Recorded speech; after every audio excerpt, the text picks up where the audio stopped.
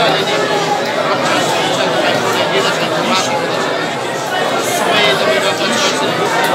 नै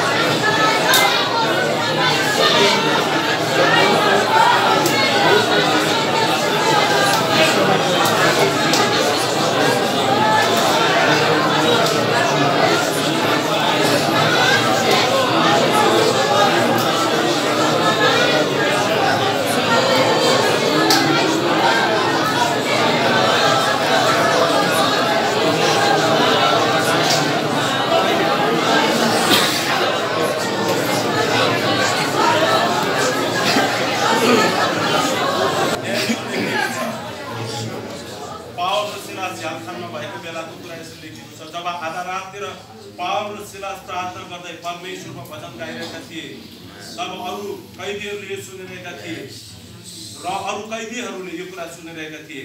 तब एक्कासी एउटा ठुलो भैँचालो गयो झ्यालखानका जगहरू हल्लिए र तुरन्तै जम्मै ढोकाहरू उग्रिए सबैका बन्धन खोले। झ्यालखानका हाकिम निन्द्राबाट ब्योजे र झ्यालखानका ढोकाहरू उग्रेका देखेर कैदीहरू सबै भागिसके भन् ठानेर उनले आत्महत्या गर्ने विचारले आफ्नो दरबार फुटे तर बाबुले यसो भन्दै कराए तपाईँले आफूलाई केही हानि नगर्नुहोस् किनकि हामी सबै यहीँ छौँ अनि अन्तमा हामी देख्छौँ उनले भन्छन् तिनीहरूले बाहिर आए उनलाई उद्धार पाउनलाई मैले के गर्नुपर्छ अनि प्रार्थना गरौँ अहिले त्यहाँ दिलीप भाइ लगायत अरूहरूले त्यहाँ रुखमा परेकाहरूलाई प्रभुको वचन सुनाउने मौका पाइराख्नु भएको छ। अनि उहाँको विचारो उहाँको हृदयमा गएको कैदीहरूको बन्धन हृदयको आत्मिक बन्धन खोलिएका हुन्। उनीहरूले प्रभुलाई चिन्न पाउन् अनि त्यहाँका प्रहरी अरू अरूले पनि बयान दिने क्रममा उनीहरूले सुन्नेछन्। हामी यो प्रभुसँग यो प्रार्थना गरौँ। बयान दिने क्रममा पनि उनीहरूले त्यो सुनेका कुराहरूले उहाँको हृदयमा ठुलो काम गरेको होस्। र उनीहरूको परिवारले थाहा पाउन सकुन् समयमा प्रार्थना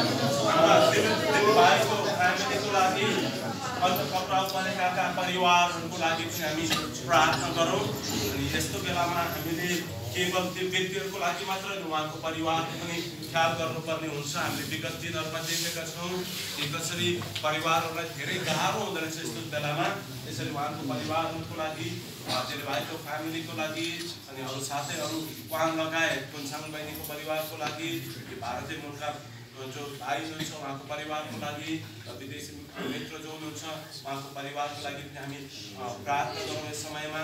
अनि हामी प्रार्थना गरौँ अनि हाम्रा सबभन्दा विभिन्न तह हाम्रा प्रियहरूले विभिन्न राजनैतिक नेतृत्वमा भए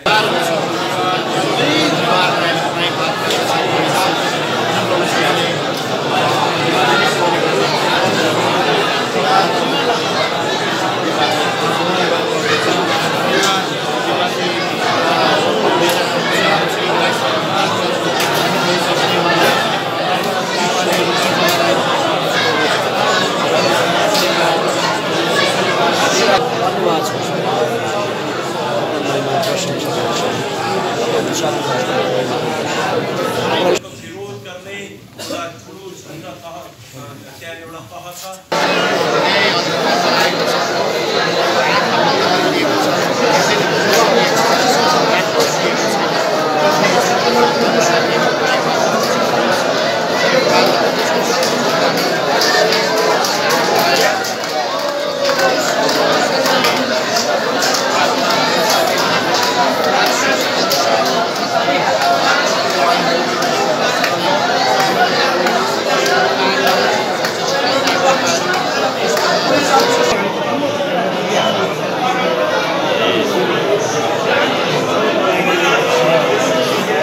बाटो यीशु प्रभु धन्यवाद छ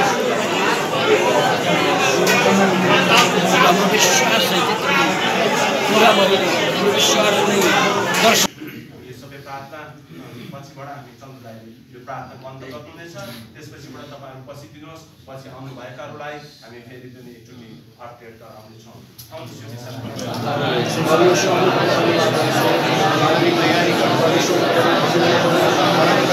यो 行く。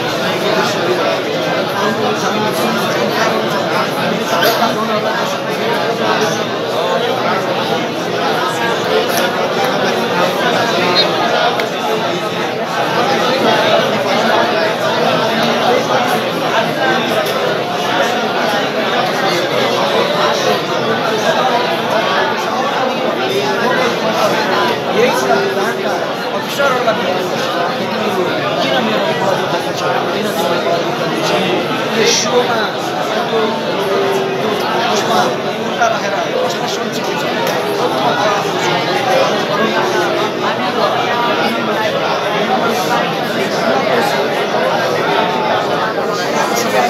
सबै विश्वासी सबै अनुहारहरू सबैको सहयोग तपाईँ परमेश्वरलाई दिनुहोस् हामी हरेकले प्रभु जुन ठाउँमा जुन प्रभु समस्याको लागि लड्नुपर्छ अनि त्यो समस्या कुरा कल गर्नुपर्छ सबै कुरा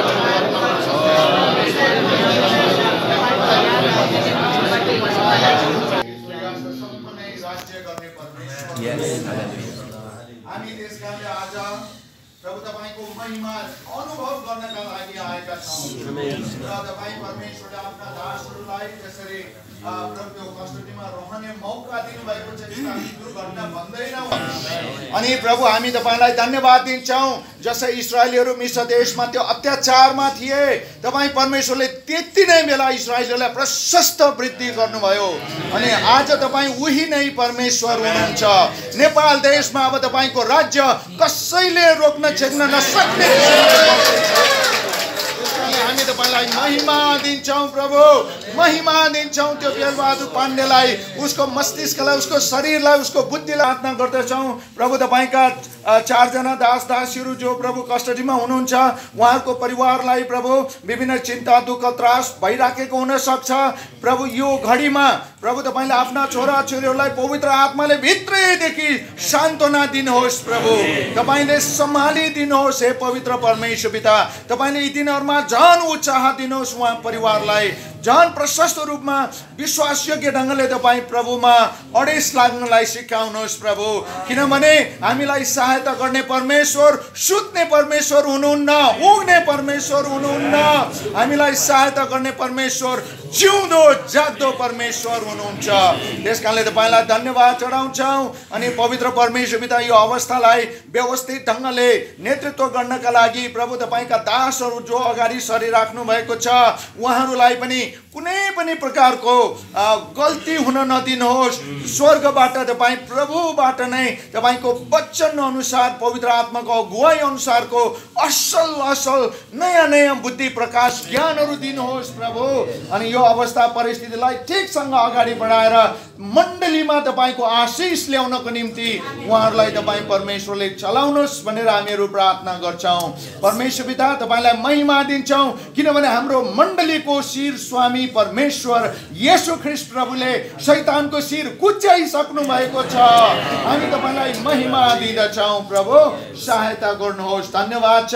यो भेटघाट यो सङ्गतिको लागि हामीलाई यसरी एक ढिक्का बनाउनु भएको लागि अब आगामी दिनहरूमा प्रभु यो संसारको शक्तिको विरुद्धमा लड्नको लागि अझै पनि परिपक्व रूपमा आत्मिक रूपमा एक ढिक्का भएर अगाडि बढ्दै जानलाई सबैलाई यो हृदय दिनुहोस् भनेर हामी प्रार्थना गर्छौँ। तपाईँको महिमाको लागि।